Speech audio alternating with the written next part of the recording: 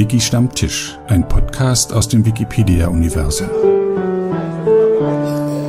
Hallo und herzlich willkommen zu einer neuen Episode von Wiki Stammtisch. Mein Name ist Sebastian Wallroth und ich spreche mit Leuten aus dem Wikipedia-Umfeld.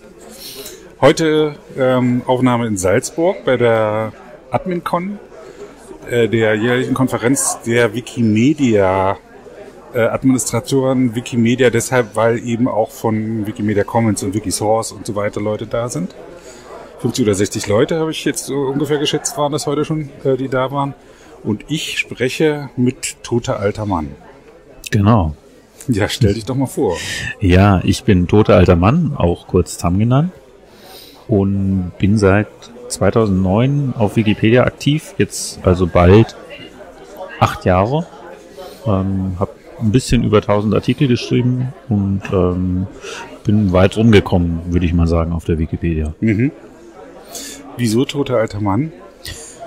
Den Namen hatte ich schon, als ich mich angemeldet habe, damals noch für ICQ als Nickname. Ich wollte einen Nickname, den ich nicht jede Woche wechsle.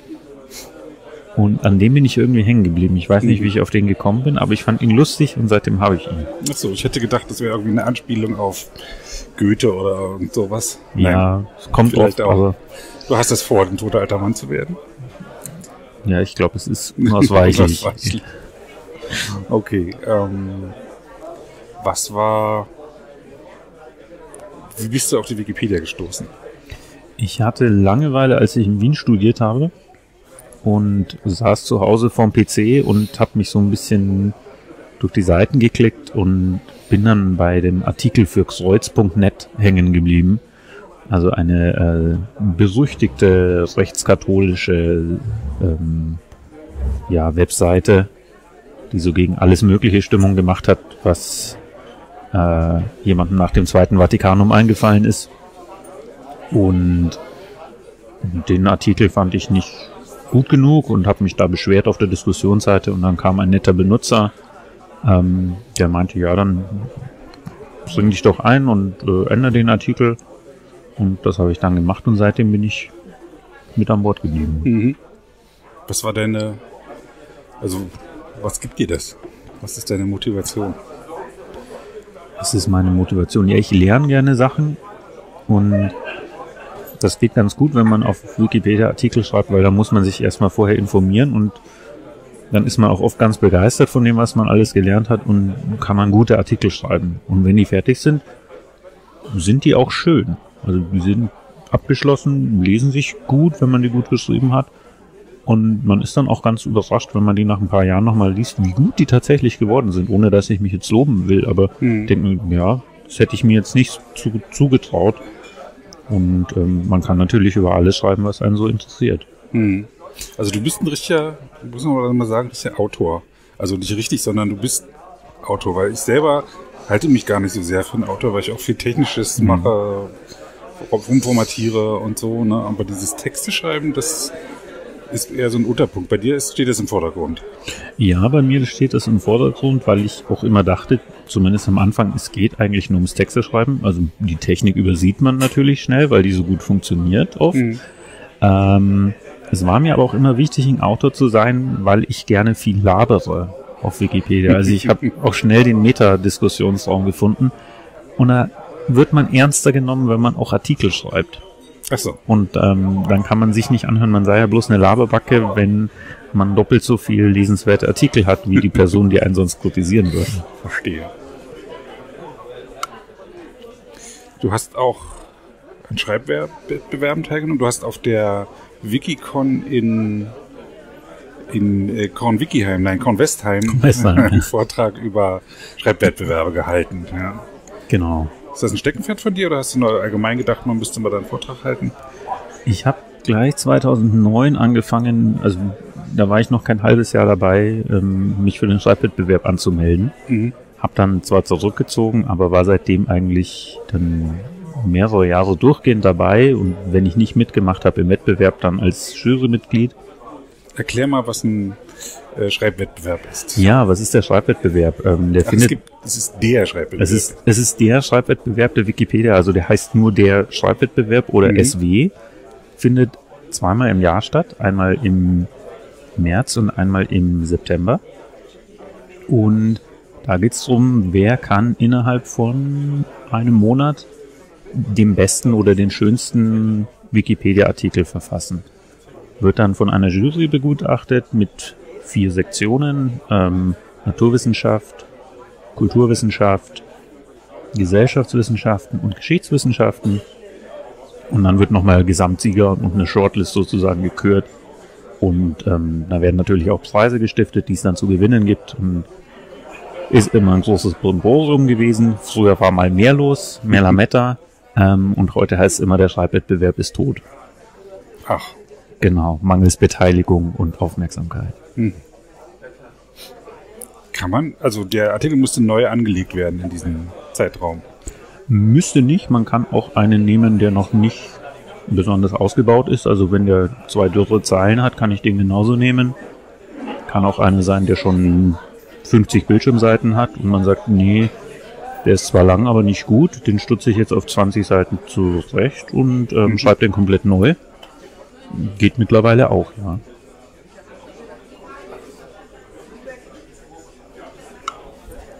Warum sagt man, dass der tot ist? Also klar, es nehmen weniger Leute teil. Warum nehmen weniger Leute teil? Ja, warum nehmen wenige Leute teil? Also es nehmen nicht nur weniger Leute teil, es ähm, stellen sich auch weniger Leute für die Jury zum Beispiel zur Verfügung. Im Moment haben wir die Situation, ich glaube, die Nominierungsphase ähm, läuft noch drei Tage. Für mindestens acht Juryposten haben sich bisher vier Leute gemeldet, davon bin einer ich. Es gibt weniger Preise, die ausgelobt werden.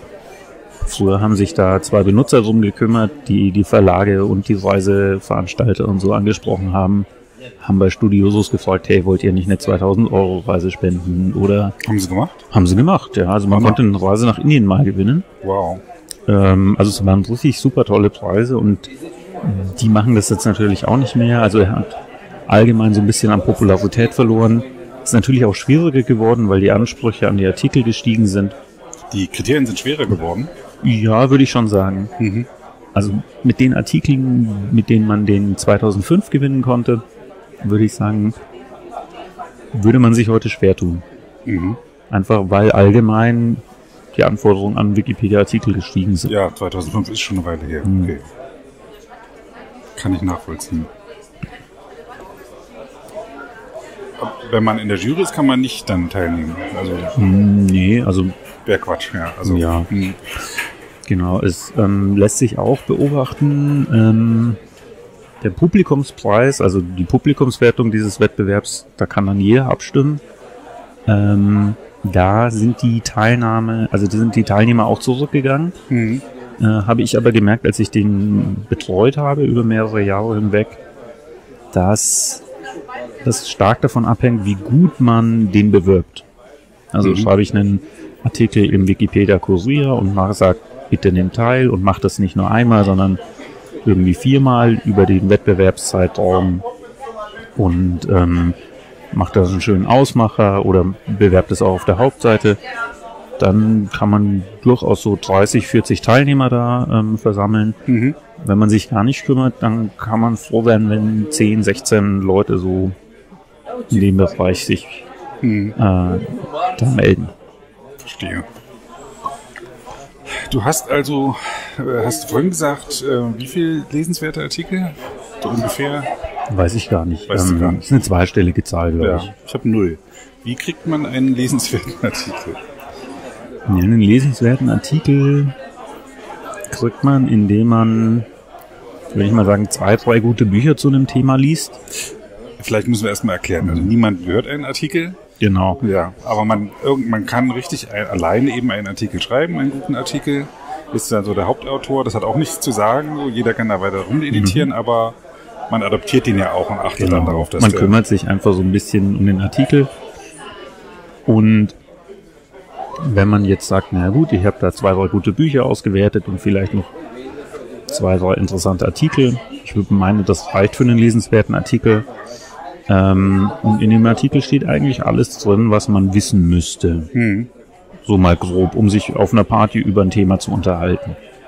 Dann gibt's zwei Seiten. Das ist einmal Wikipedia-Kandidaturen für lesenswerte Artikel oder ähm, Wikipedia Kalb, also Kandidaturen für von Artikeln, Listen und Portalen. da kann man dann sagen, ja, ich habe jetzt diesen Artikel schön ausgebaut. Schaut ihn doch mal an. Ich finde, der ist lesenswert. Wenn ihr das auch findet, dann stimmt doch bitte dafür. Und dann läuft das 10 Tage oder 20 Tage, je nachdem, ähm, ob das Ergebnis eindeutig ist. Und am Ende bekommt der Artikel dann ein blaues Bappal, wie man sagt, oben rechts in der Ecke verpasst wo ein kleines L draufsteht und dann ist der Artikel lesenswert. Mhm. Ist auch für den Leser interessant, ne? Also lesenswerte Artikel sind vermutlich vertrauenswürdiger und, und, und ergiebiger. Mhm.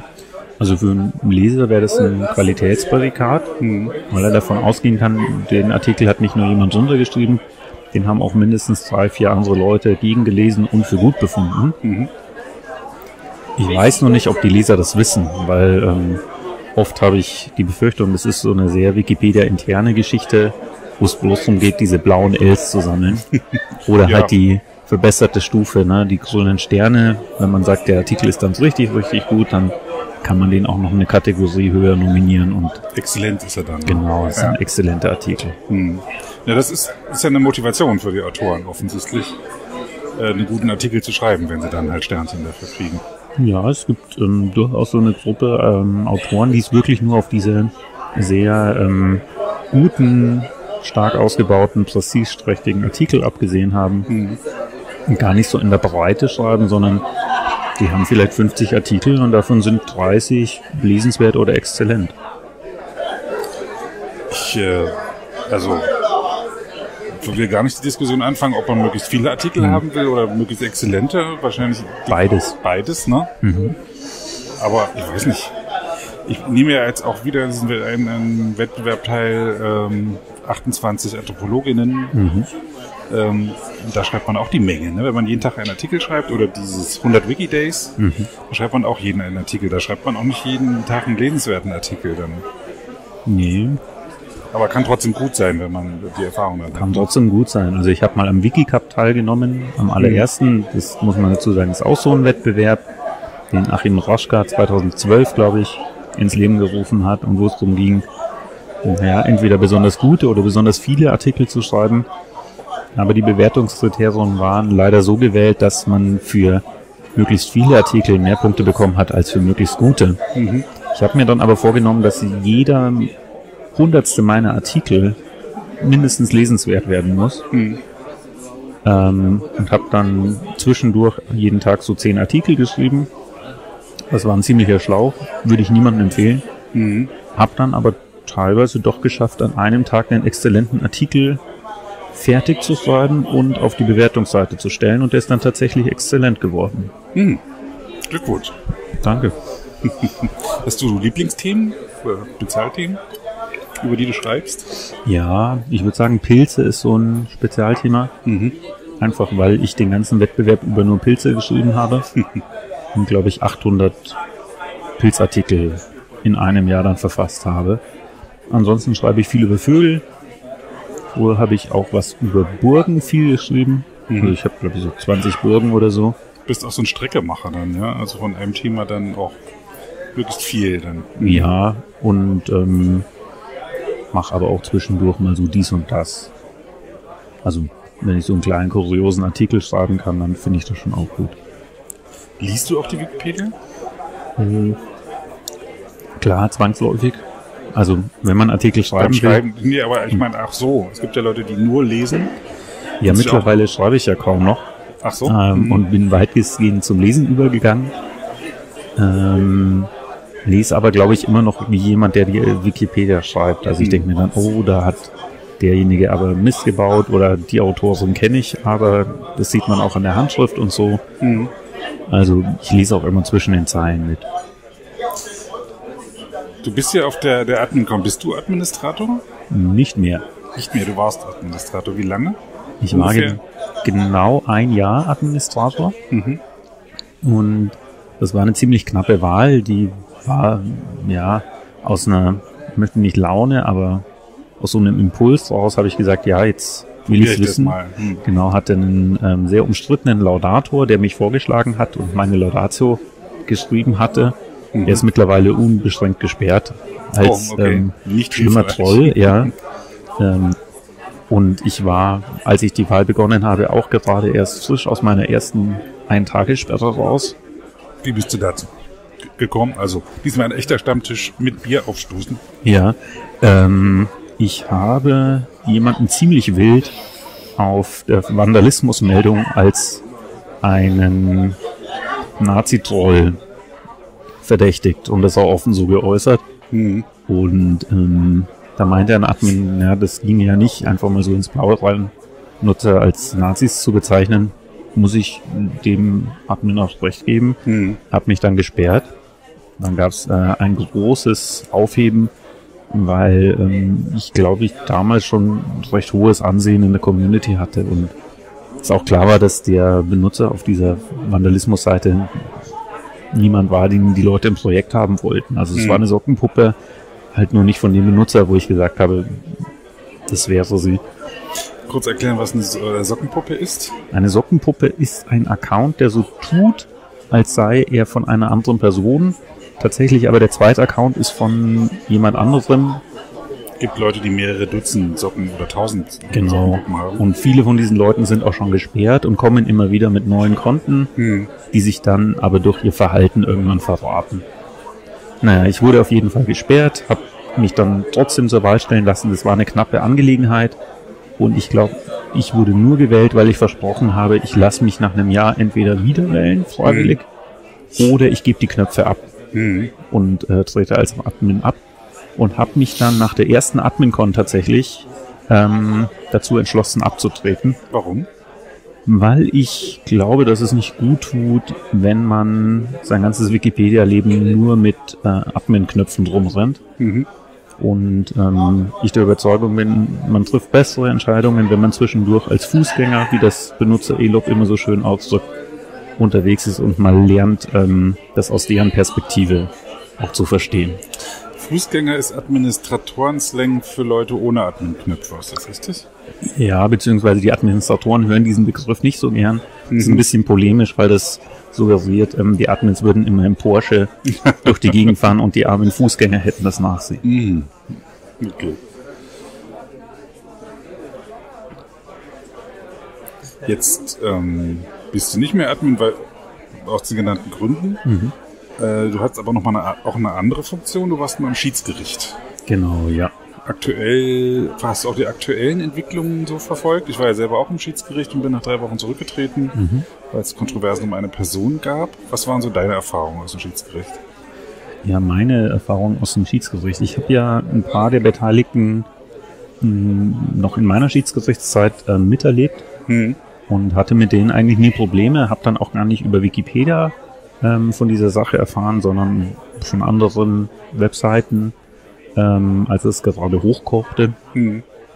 Und ähm, ja, was kann man dazu sagen? Also zum Aktuellen muss man kurz erklären, äh, vielleicht, dass ähm, ähm, ein äh, langjähriges Schiedsgerichtmitglied ähm, sich ähm, also seine äh, Person offengelegt hat und dass er Funktionär bei der AfD ist.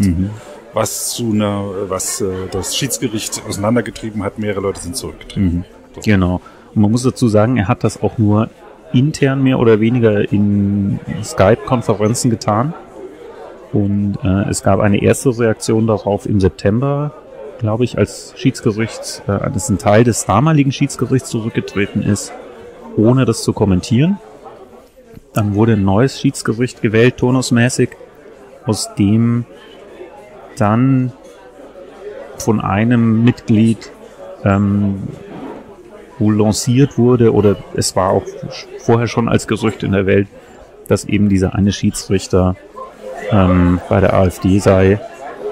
Genau, und es waren, äh, waren auch schon wieder neu gewählte Schiedsrichter auf dem Absprung.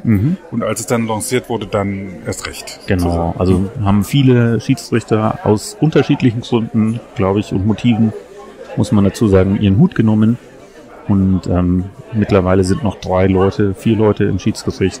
Also nicht mehr, die sind nicht mehr ähm, beschlussfähig. Genau, Das ist eigentlich nur genau. Also nominell, dass sie äh, da sind. Aber das fällt nicht in deine Zeit. Das fällt nicht ganz in meine Zeit. Ich kenne nur die Leute, die Leute, genau. die, die da aktiv waren. also ähm, warst du noch in, in, einem, in einer Phase dort, als alles rosarot und mit Glitzer war? Naja, rosa-rot und mit Glitzer ist es im Schiedsgericht nie. ähm, das ist natürlich sehr schwierig, weil man keinen Einfluss darauf hat, wie man jetzt da als Kollegen bekommt. Es wird zweimal im Jahr gewählt, äh, jeweils die Hälfte der Richter und Richterin und ja, manchmal entscheidet die Community sich da halt für Leute, wo man dann sagt, hm, das ist aber wirklich schwierig, mit denen zusammenzuarbeiten. Mhm.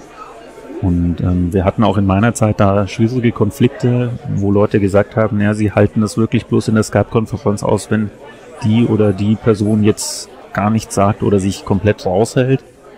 Ähm, teilweise haben die Personen das dann auch selber gemerkt und sind zurückgetreten. Mm, Teilweise musste man halt irgendwie einen Modus wie Wendy finden, um bis zum Ende der Amtsperiode durchzuhalten und zumindest nach außen hin da ähm, das Schiedsgericht als Institution nicht zu beschädigen. Mhm. Was äh, ist sind irgendwelche Fälle in Erinnerung?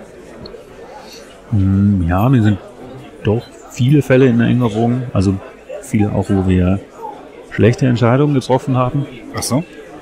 Ähm, es gab zum Beispiel einen Fall in der Gender-Debatte, also wo es einfach quer auf Wikipedia einen Streit gab, sollten Themen zur, wie Geschlechtergerechtigkeit, ähm, geschlechtergerechte Schreibweise in Artikeln, äh, Frauenthemen und so weiter und so fort. Ähm, wie sollte mit denen umgegangen werden? Es gab zwei Fraktionen, die da sehr unterschiedliche Ansichten hatten, sich immer wieder beleidigt hatten und irgendwann ist diese Geschichte dann bei uns gelandet und ähm, wir waren sozusagen mit der Aufgabe äh, konfrontiert, diesen Konflikt zu befrieden. Hm.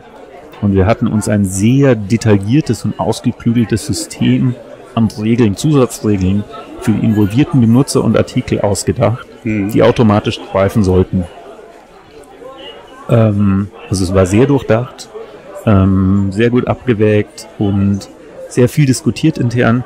Was wir nicht bedacht hatten, war, dass die Admins da nicht mitgehen wollten, weil die Regeln sehr ähm, schwierig umzusetzen waren teilweise, weil viele der Admins diese Regeln nicht gut fanden Mhm. und ähm, weil sie auch fanden, dass wir als Schiedsgericht unsere Kompetenzen damit überschritten hatten. Mhm. Und da haben wir gemerkt, naja, so mächtig ist das Schiedsgericht gar nicht. Und es kommt viel drauf an, im Vorfeld die Beteiligten mit einzubeziehen. Und auch deren Meinung zu hören Mhm. und vor allem auch Entscheidungen zu treffen, die sich realistisch umsetzen lassen. Das hat in anderen Fällen besser geklappt, aber ich denke, ich habe aus dem Fall damals viel gelernt, ähm, was auch die Grenzen der Konfliktbewältigung auf Wikipedia angeht. Mhm. Was heißt das? Was, äh, was sind die Grenzen? Hm, ich glaube, nicht jeder Konflikt lässt sich lösen. Äh, mit manchen Konflikten muss man vielleicht auch leben. Mhm. Also es ist oft, oder in manchen Konflikten ist es besser damit zu leben, als sie zu lösen zu versuchen, weil da macht man Sachen nur noch schlimmer. Und ähm, man muss auch als konfliktlösende Instanz, ob das jetzt das Schiedsgericht ist oder ein Admin, die eigenen Grenzen vor Augen haben und Mhm. sich klar machen, naja, ich habe jetzt zwar viele Befugnisse, aber das heißt nicht, dass ich auch die Möglichkeiten habe, jetzt tatsächlich diesen Konflikt beizulegen Mhm. und ein für alle Mal zu lösen. Ich glaube, das wäre auch ein bisschen vermessen und insofern tut da ein bisschen Demut gut. Ja, Demut. Vorhin wurden so Eigenschaften äh, von Administratoren Mhm. aufgewählt. Vielleicht sollte auch Demut dazugehören. Ja, Demut ist sicher nicht schlecht. Ich glaube, am wichtigsten ist Humor. Und zwar in dem Sinne, dass man über sich selbst lachen kann. Ich sage oft, Humor ist wahrscheinlich die einzige Eigenschaft, die man mit der Gießkanne über der Menschheit verteilen könnte, ohne Schaden anzurichten. Sich selber zu ernst nehmen, das ist äh, großes Problem. Ja. Hm. Kommt man nicht sehr weit in der Wikipedia oder landet in Dauerstreits, wie vorhin jemand erzählte, dass es seit zehn und Jahren und länger schwelende Streits gibt in Ja. der Wikipedia. Könnte man eine Doktorarbeit drüber schreiben. Machen bestimmt auch schon Leute. Hast du noch vor, eine Doktorarbeit zu schreiben? Ja, ich schreibe gerade meine Doktorarbeit. Ach nein.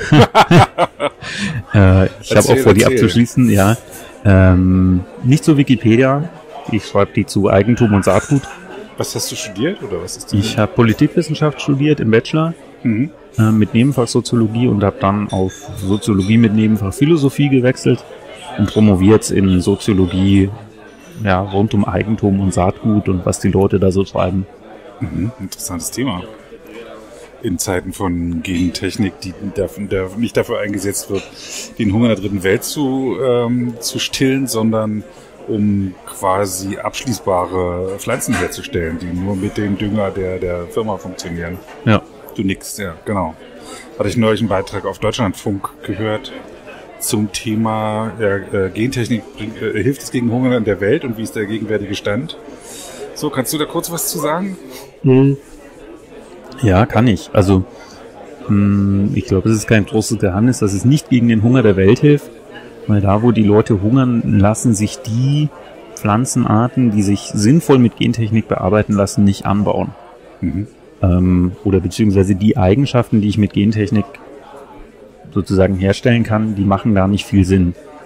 Es gibt im Moment zwei hervor also herausragende Eigenschaften, bei denen das klappt und auch ähm, ökonomisch klappt. Das ist einmal Schädlingsresistenz und dann Herbizidresistenz. Mhm. Das heißt, ich kann die mit Glyphosat zum Beispiel besprühen, ohne dass die eingehen.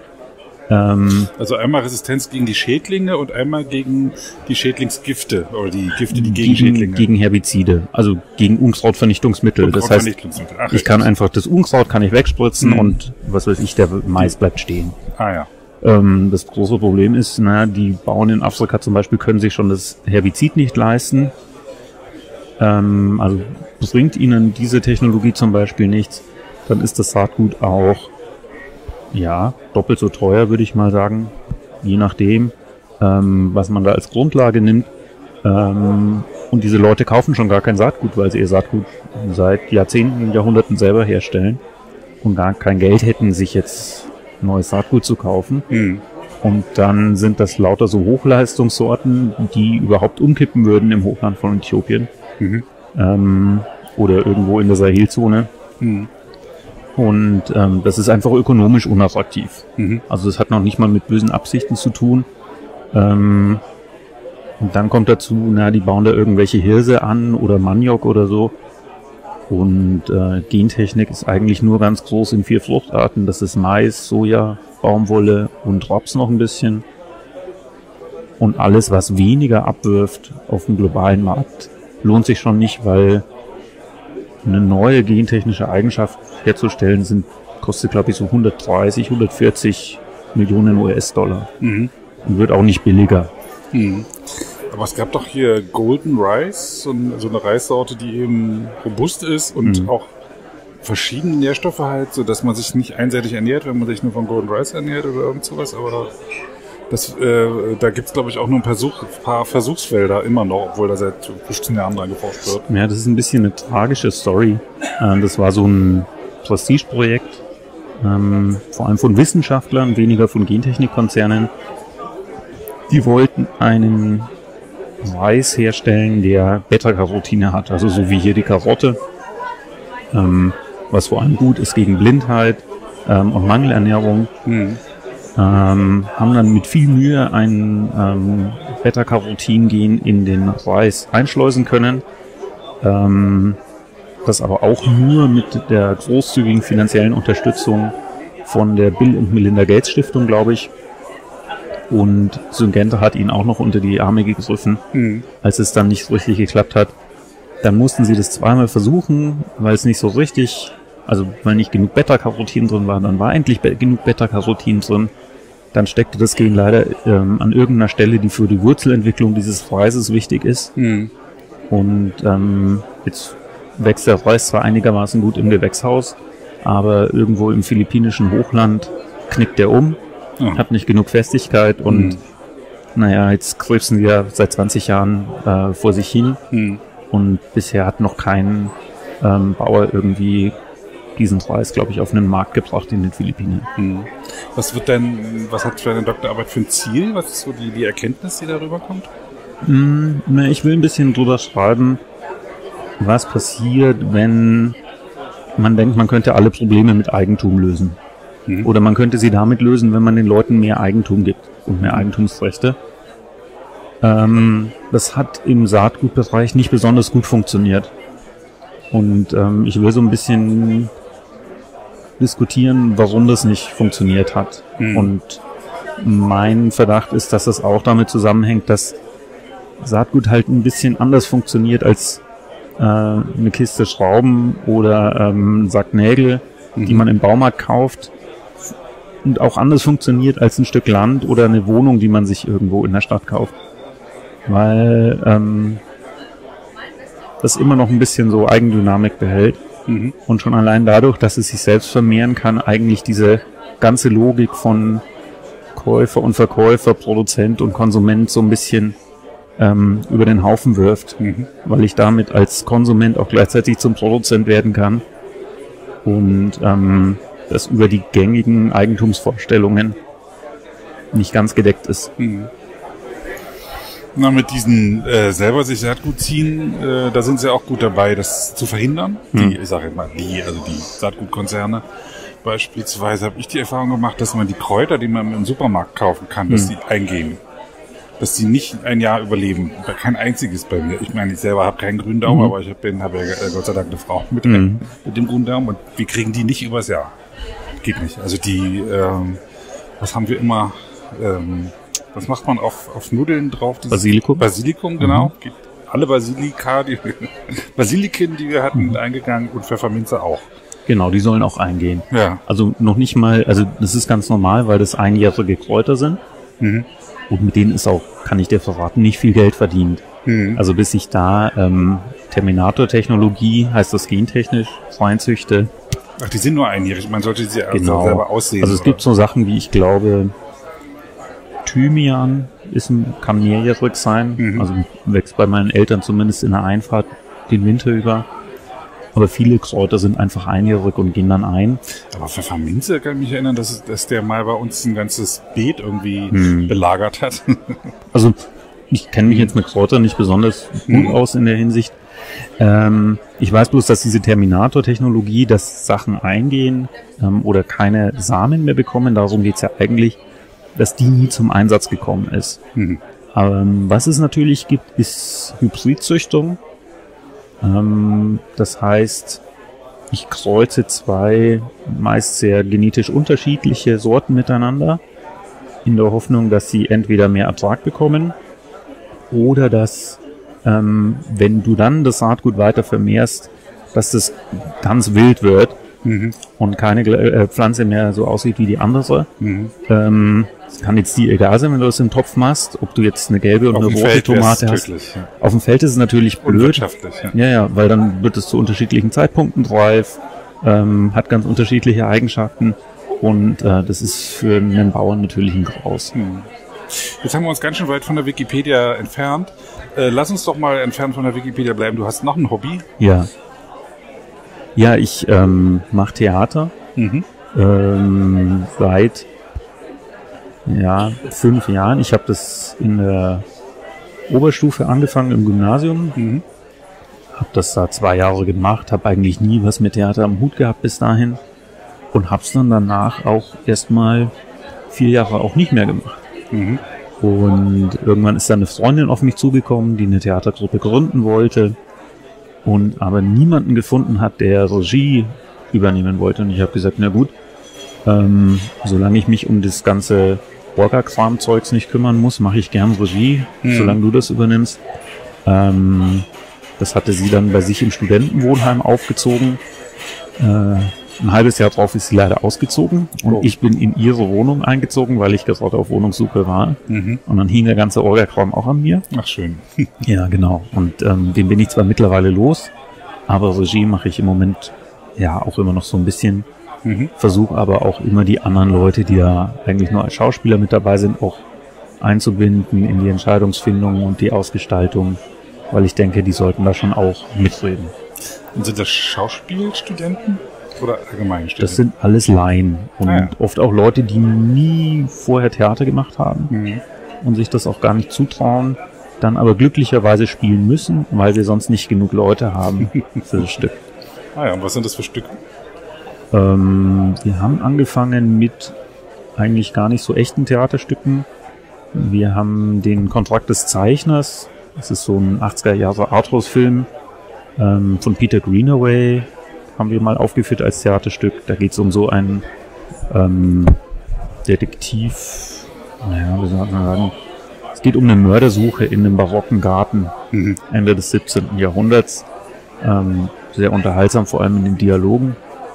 Wir haben die Kunst des negativen Denkens aufgeführt. Das ist ein norwegischer Film aus den 2000er Jahren, glaube ich. Ich finde es ja cool, dass ihr Filme nachspielt. Ja, als drittes haben wir dann von Michael Ende die Vollmondlegende. Das ist ein sehr dünnes, kleines Buch. Mhm. Eines der letzten Bücher, die Michael Ende geschrieben hat. Da geht es um einen Eremiten und einen Räuber und Sinnfindung im Wald Mhm. und äh, Religiosität haben wir aufgeführt. Und dann äh, letztes Jahr zum ersten Mal ein echtes Theaterstück. Und zwar ähm, den Revisor von Gogol. Mhm. Wann und wo ist die nächste Aufführung? Die nächste Aufführung ist voraussichtlich Ende Juli Mhm. im Olympiadorf in München. Ah, wie kommt das? Ja, das ist das Studentenwohnheim, in dem Mhm. ich gewohnt habe und ähm, wo dieses Theater auch als ein Ausschuss des studentischen Selbstverwaltungsvereins angesiedelt ist. Ähm, frag mich nicht, wie die rechtliche Konstruktion da ist. Mhm. Auf jeden Fall kriegen die Leute Wohnzeit, wenn sie da Theater spielen. Ah ja, Ach, Wohnzeit. Mhm. Und ist, ähm, ist dann schon mal alle Vorstellungen besetzt mit Studenten, die zuschauen, oder ist auch für öffentliches Publikum? Das ist absolut öffentlich. Also Mhm. wir verlangen auch keinen Eintritt. Wer, wem das gefällt und ähm, wer möchte, darf danach natürlich Spenden geben. Genau, aber die ansonsten. dann in, in Spirituosen umgesetzt werden? Nee, damit finanzieren wir eigentlich unsere Ausgaben, die wir das Semester über hatten. Ähm, wir haben zum Beispiel mal eine Rollstuhlrampe für 90 Euro aus Pressspan bauen lassen. Mhm. Ähm, und das waren halt die Materialkosten, die habe ich vorgestreckt und das wurde dann über die Spenden finanziert. Und in der Regel schaffen wir es, so ein kleines Plus zu machen von 30 Euro. Mhm. Das zahlen wir an den Verein zurück, weil wir sagen, ja, der ist auch finanziell nicht so super aufgestellt. Ähm, aber wenn mal was übrig bleibt für einen Kasten Bier und ein bisschen Grillen, das reicht's immer. Das ist auch schön. Ja. Okay, zurück zu Wikipedia. Ähm, wir hatten im Vorgespräch kurz angerissen, äh, dass ähm, ja auch nicht mal alles nur schön ist mit der Wikipedia. Genau. Ja, die Wikipedia, muss ich sagen, ist ein, also ganz fürchterliche Seite. Ähm, und ich bin froh, dass ich jetzt hier bin, weil dann darf ich es mal sagen. Ähm, sonst sind ja immer alle voll des Lobes, vor allem Leute, die nicht mitarbeiten. Aber ähm, erstens ist es so, dass die Wikipedia sich, glaube ich, seit 2005, wo dieser große Boom war, nicht besonders weiterentwickelt hat. Mhm. Also es wird immer noch das gleiche Konzept gemacht. Im Grunde versucht man den Brockhaus ins Internet zu übertragen. Mhm. Und ähm, jetzt gibt es den Brockhaus mittlerweile auch schon ein paar Jahre nicht mehr. Trotzdem sehen die Artikel immer noch gleich aus. Mhm. Und ähm, es besteht immer noch so ein bisschen die Hoffnung, naja, man könnte ja zu allem auch einen Artikel haben. Und man müsste bloß abschreiben, was woanders steht. Und ähm, dann würde das schon auch von alleine klappen. Mhm. Ähm, tatsächlich ist es, glaube ich, so, dass man viele Entscheidungen treffen müsste für die Wikipedia, auch redaktionelle, dass man sich überlegt, was können wir denn überhaupt sinnvoll beackern und was nicht und wie vertreten wir, dass wir manche Themen stiefmütterlich behandeln. Ähm, Was, woran könnte man das festmachen? Themen, die man ähm, beackern kann oder die man eben nicht darstellen kann? mh, es gibt zum Beispiel Themen, ähm, das macht der Kollege Matthias B. ja gerne, Newsartikel schreiben. Halte ich für sehr wichtig, ähm, weil oft gibt es keine objektive ähm, Instanz, wo man das gut nachschlagen könnte. Ich glaube aber, man kann das nur begrenzt tun, weil ähm, die Themen selber ähm, oder die Ereignisse selber noch überhaupt nicht klar sind. Mhm. Also ich weiß jetzt gar nicht, was für eine Art Ereignis das ist und Also ein Newsartikel wäre ein Artikel zu einem aktuellen Ereignis. Genau. Ein, ein, was über mehrere Tage geht, so etwas wie ein Wirbelsturm, Katrina. Ja, oder mal ganz konkret, ähm, dieser Amoklauf in München jetzt zum Beispiel, ich Mhm. war ja selber vor Ort damals, wir hätten fast an dem Tag unser Theaterstück aufgeführt. Ähm, das heißt bloß, es ist irgendwo Schießerei und es ist ein Polizeieinsatz. Und ähm, dann ist überhaupt nicht klar, was passiert. Hm. Also es ist nicht mal klar, wo die Schießerei ist, wann das passiert ist, wie viele Täter und so. Und also dieses Ereignis franzt so ein bisschen aus am Anfang. Und das Gute ist, oft klären sich die Sachen dann im Nachhinein. Mhm. Aber man muss ein bisschen warten und ähm, deswegen werden dazu oft nicht Artikel geschrieben. Ähm, also das ist so eine praktikable Sache, die löst sich aber mit der Zeit. Es gibt andere Sachen, wo ich sage, na ja, je nachdem, wie man ein Artikelthema zuschneidet, ähm, trifft man damit auch eine Entscheidung. Ähm, Beispiel Bradley oder Chelsea Manning.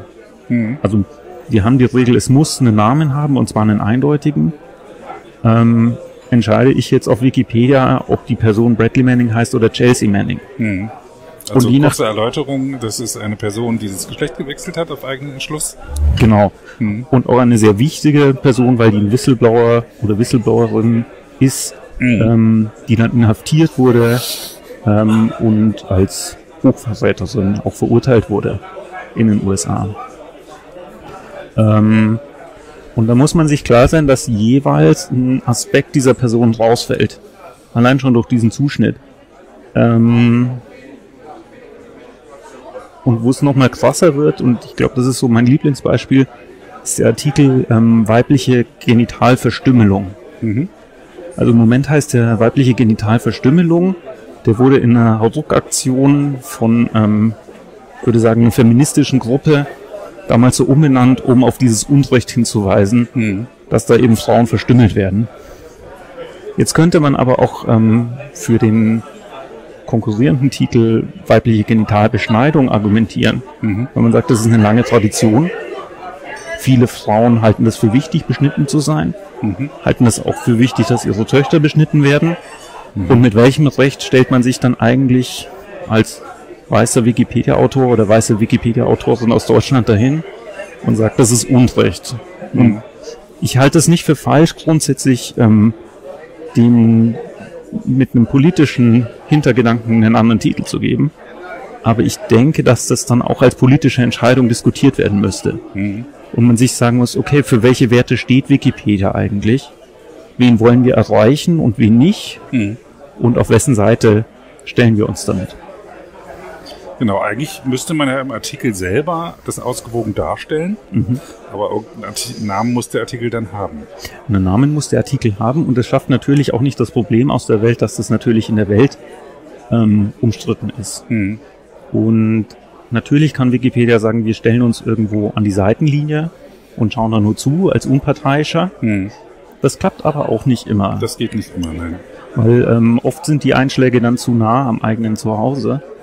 Und ähm, wenn ich mir bedenke, ob jetzt zum Beispiel die Ansichten der NPD, ähm, ob man die gleichberechtigt darstellen sollte zu anderen Ansichten oder ob man sagt, nee, die schließen wir grundsätzlich aus von diesem Grundsatz.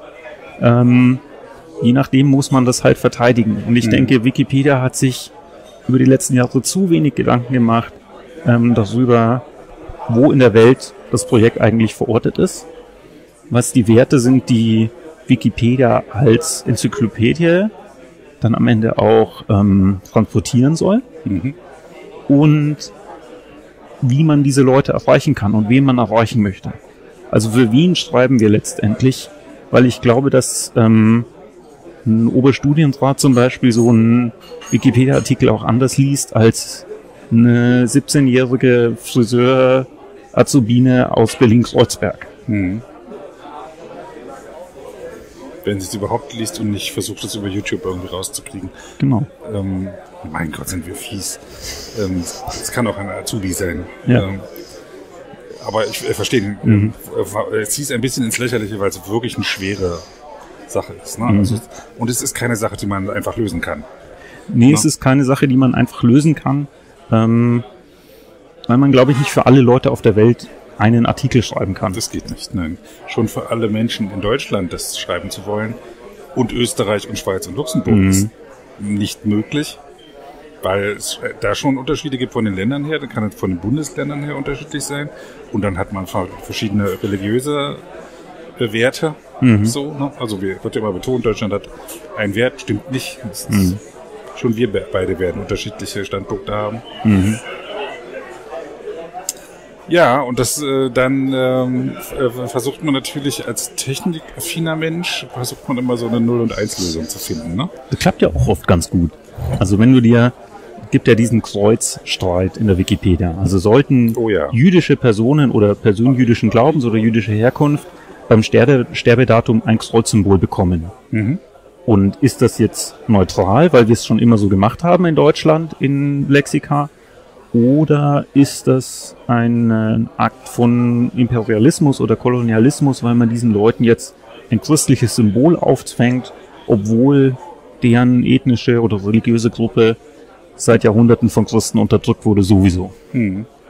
Ähm, und Oder gar nichts, oder für die dieses Zeichen gar nichts bedeutet, die für die. Genau. Mhm. Ähm, und für beides lassen sich gute Argumente finden. Und dann könnte man als Techniker sagen, naja, muss sich auch gar nicht streiten, wenn sich jeder aussuchen kann. Mhm. Und man könnte ein kleines Gadget basteln und dann stellt man eben ein, möchte man bei diesen Personen ein Kreuz stehen haben oder möchte man überhaupt Kreuze stehen haben in der Wikipedia als Atheist oder möchte man da nur stehen haben, gestorben?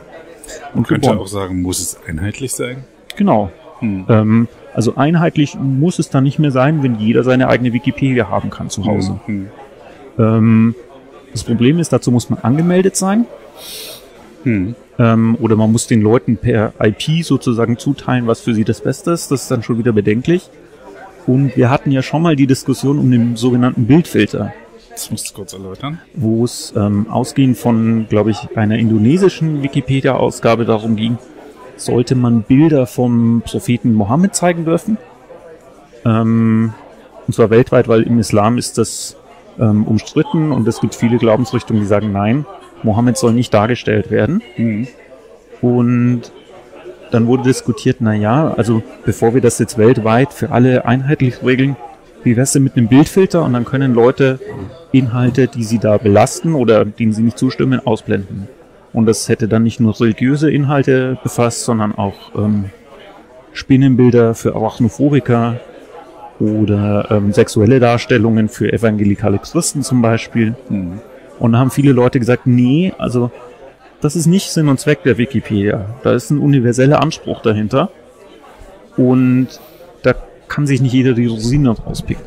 Ein anderes Argument, äh, erinnere ich, war, dass man so eine, eine Filter- oder eine Zensurarchitektur schafft, ne? wo dir da auch Begehrlichkeiten sofort aufkommen, wo es dann heißt, äh, na, ihr könnt es ja filtern, also zeigt jetzt gefälligst ähm, äh, nicht die, äh, weiß ich, ja, irgendwer, was irgendwelche Gefühle verletzt. In, Russ, äh, in Russland sehen sie die äh, Grenze mit der Krim so und so und in der Ukraine sehen sie sie so und so. Genau.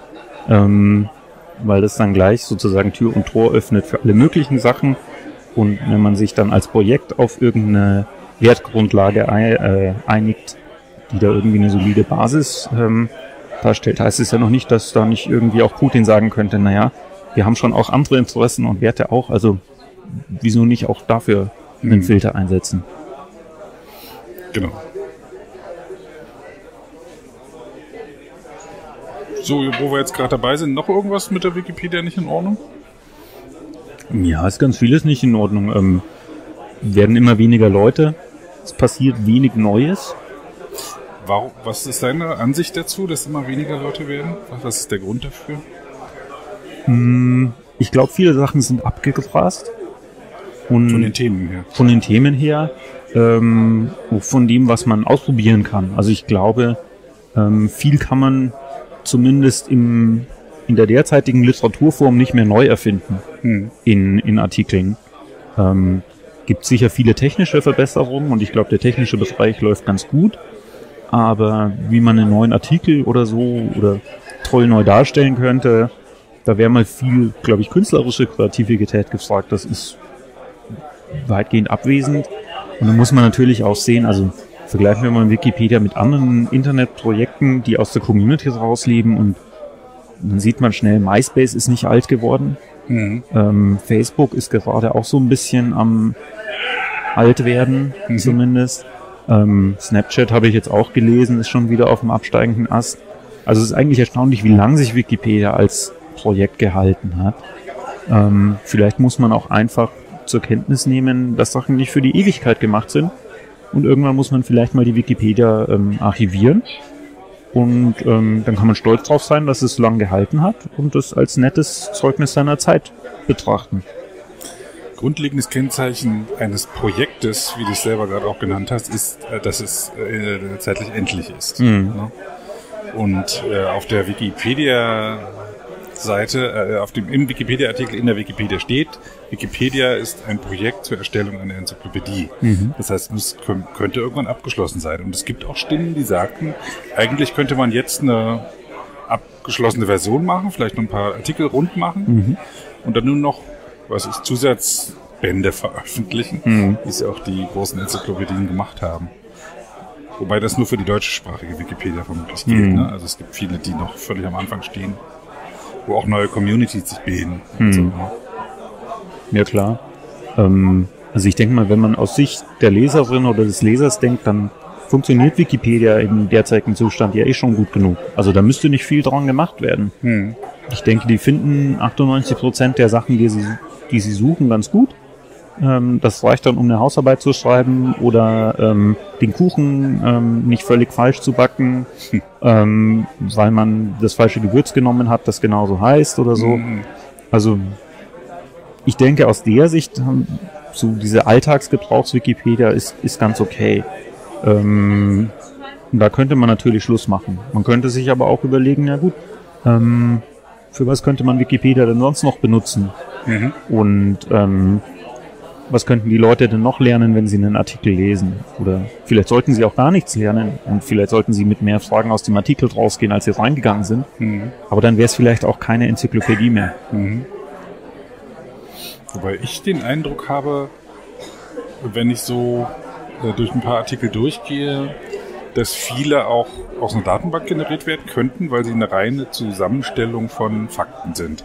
Ohne eine Aussage zu treffen, ohne eine Geschichte zu erzählen. Ne? Beispielsweise per Personenartikeln über irgendeinen Wissenschaftler, dann sollte auch irgendeine Einschätzung zu seiner Arbeit dastehen. Ne? Wa- Was er geleistet hat oder was er vorangebracht hat oder was seine Ideen waren und nicht nur, wo er studiert hat, wie er Dok wer sein Doktorvater war und wann er gestorben ist. Und dass es ein Suizid war oder sowas. Ne? Ja, aber das ist genau die Sache, die, glaube ich, schwierig ist, weil dann muss man so diesen sicheren Pfad der Fakten verlassen und äh, der Biografien und Zeitleisten und sich überlegen, na gut, was sollten denn die Leser wirklich wissen müssen über diese Person? Und ähm, wie vermittle ich das? Und das, glaube ich, muss man für jeden Artikel neu rausfinden. Also wie vermittelt man irgendwie das Gefühl, das man braucht für diesen Artikel? Und dann gibt's natürlich auch Leute, die sagen, so geht's aber gar nicht. Und dann muss man in der Lage sein, diese Entscheidungen zu rechtfertigen. Und im Entscheidungen und Rechtfertigen sind Wikipedia, glaube ich, Wikipedianer ganz schlecht, weil sie oft sagen, ja wieso, ich habe doch einfach nur den Regeln gefolgt oder ich habe doch nur abgeschrieben, was in diesem Buch stand. Ähm, Im Grunde hat sich der Artikel selbst geschrieben und wir sagen immer, Wikipedia-Artikel haben keinen Autor oder keine Autorin, sondern da steht ein Kollektiv dahinter oder die Quellen. Aber ich glaube, so ganz wird man den Autor nicht los im Artikel. Also er ist nicht ganz tot, obwohl Roman Barth das damals behauptet hat. Ähm, und dann muss man fragen, welche Rolle haben wir, die die Wikipedia schreiben? Und ich denke, das involviert auch die Techniker und die Fotografen ähm, darin, wie wir unsere Inhalte gestalten. Ja, was? Es gibt noch so eine Standardfrage in meinem Podcast. Äh, was würdest du anordnen, wenn du jetzt König der Wikipedia wärst? Wenn ich König der Wikipedia wäre. Jetzt jetzt der absolute Herrscher wärst. Nicht für lange, so, für einen Tag vielleicht. Okay. Was würde ich anordnen? Hm. Das ist natürlich schwierig, weil ich weiß, dass man viele Sachen anordnen kann und selbst wenn die Leute es umsetzen möchten, klappt das nicht so Wenn richtig. dir eines Tages eine Fee kommt und sagst, du hast drei Wünsche, dann hast du auch ein Problem, oder? Ja. Hm. Ich glaube, dieser Vorschlag, allen Leuten mal einen Tag nur Leserechte zu geben, also jede Artikelbearbeitung zu verhindern und die Leute mal einen Tag nur Artikel lesen zu lassen, die wäre nicht schlecht. So ein bearbeitungsfreier Montag oder so. Genau. Gute Idee. Hatte bis jetzt noch keiner so erzählt. Sehr schön. Hast du einen bestimmten Musikgeschmack? Ja, ich mag Barockmusik und äh, Progressive Rock. Mhm. Weil ich ähm, am Podcast meist immer noch ein äh, frei lizenziertes Musikstück ranhänge. Mhm. Und entweder suchst du noch eins raus und schickst mir das, oder mhm. ich suche dann jetzt ein barockes oder ein das andere habe ich vergessen, kann ich aber nachhören. Ja, Progressive Rock ist Progressive wahrscheinlich Rock. schwieriger, aber hm. ich glaube, Barock sollte zumindest vom Komponisten her kein Problem mehr bestehen. Händel. Also ja, Händel ist doch super. Genau. Wenn es eine freie Aufnahme mit äh, macht, gerne. Ich danke dir für das Gespräch. Das war sehr interessant. Ja, ich danke dir für das Interview. Ja, wir haben viele Schleifen geschlagen. okay, dann bis nachher. Tschüss. Tschüss.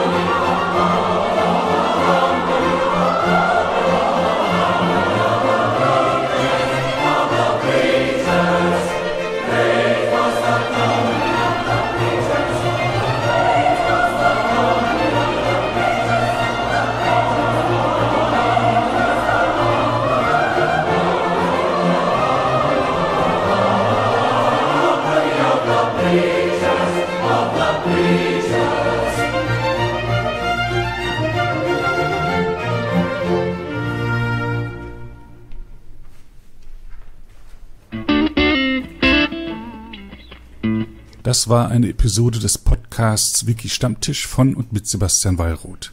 Die Episode steht unter der Lizenz Creative Commons Namensnennung 4.0, abgekürzt CC by 4.0. Diese Lizenz erlaubt Ihnen erstens, die Episode zu teilen, also das Material in jedwedem Format oder Medium zu vervielfältigen und weiter zu verbreiten. Zweitens dürfen Sie die Episode bearbeiten, also das Material remixen, verändern und darauf aufbauen, und zwar für beliebige Zwecke, sogar kommerzielle. Ich als Lizenzgeber kann diese Freiheiten nicht widerrufen, solange Sie sich an die Lizenzbedingungen halten. Die Lizenzbedingungen lauten Erstens, Sie müssen als Urhebernamen Wiki Stammtisch, Sebastian Wallroth angeben. Zweitens, Sie müssen die Lizenz CC BY 4.0 angeben. Drittens müssen Sie, wenn möglich, einen Link zur Lizenz beifügen. Viertens müssen Sie angeben, ob Änderungen vorgenommen wurden. Fünftens dürfen Sie diese Angaben in jeder angemessenen Art und Weise machen, allerdings nicht so, dass der Eindruck entsteht, dass ich als Lizenzgeber gerade Sie oder Ihre Nutzung besonders unterstützte. Zuletzt dürfen Sie sechstens keine zusätzlichen Klauseln oder technischen Verfahren einsetzen, die anderen rechtlich irgendetwas untersagen, was diese Lizenz erlaubt